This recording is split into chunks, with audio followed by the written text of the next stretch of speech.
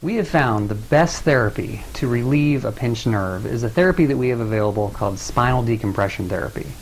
Uh, what decompression therapy is, is it's based on the traction concept. Traction as a therapy has been around for a number of years, and the idea with traction is a stretching based type treatment.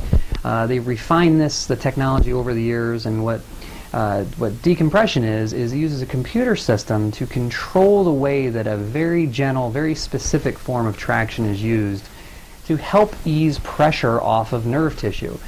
Uh, in, in, a, in a pinched nerve scenario, whether it's coming from the disc itself or the facet joints, or if it's a degenerative scenario, if there's wear and tear and there's compression loading on the spine from a wear down of those tissues, that pressure buildup is what is irritating the nerve. And decompression is a very effective way at helping to gently open that space up to do two things. One thing, to help take pressure off the nerves, which can be very, usually very effective relatively quickly too. Within a short period of time, many times we'll, we'll have improvement.